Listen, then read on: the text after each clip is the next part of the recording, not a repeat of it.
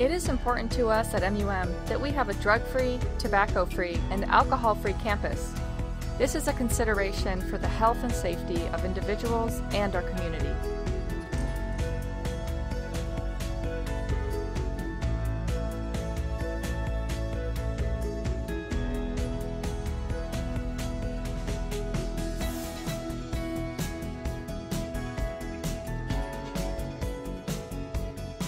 Approximately one in four students report academic consequences from drinking alcohol.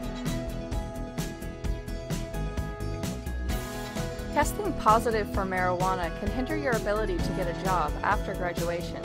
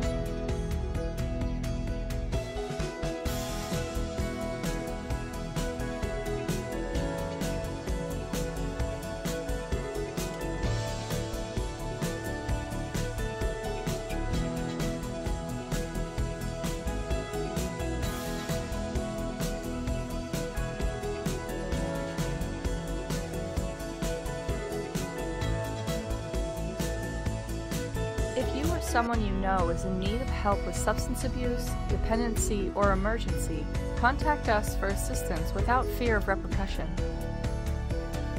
Also, if you ever see someone lose consciousness due to alcohol or other substances, call 911 immediately, and then campus security.